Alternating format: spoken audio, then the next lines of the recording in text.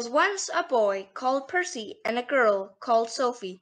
Percy said hi and Sophie said hello. Hi is for hydrogen. Hello is for helium. While introducing themselves, they got to know that both of them are from Lithuania. Lithuania sounds similar to lithium. Sophie said that she wanted to go collect berries. Berries sound similar to beryllium.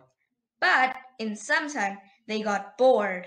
Using bored, you can remember boron. They went over to their car. Car is for carbon. On the dashboard, there was a statue of a knight Knight is for nitrogen. wearing an oxygen mask. Oxygen mask should help you remember oxygen. They went to a mall and parked their car on the ninth floor. Ninth floor is for the ninth element, fluorine. They saw a neon parking sign. Neon is the tenth element. Next to the parking sign, there was a soda ad.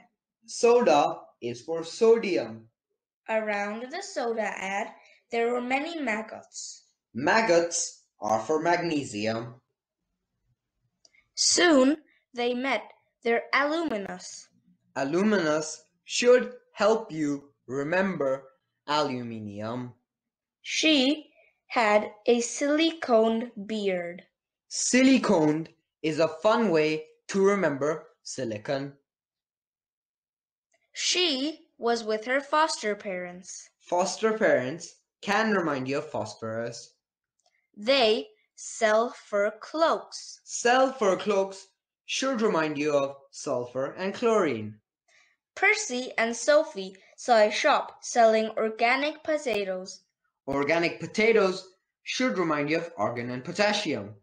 They calculated how much they had to pay. Calculated should remind you of calcium. When they came back to their car, they saw scratches. Scratches should remind you of scandium. The doors were also tightly closed. Tightly sounds similar to titanium. They couldn't open the doors, so they rented a van. A van should remind you of vanadium. They drove and suddenly saw an abandoned house. Crows were on the roof. Crows should remind you of chromium. Under the roof, there was a skeleton mannequin. Mannequin should remind you of manganese. They slowly opened the iron gate. Iron is the 26th element. In the house, they saw cobwebs. Cobwebs should remind you of cobalt.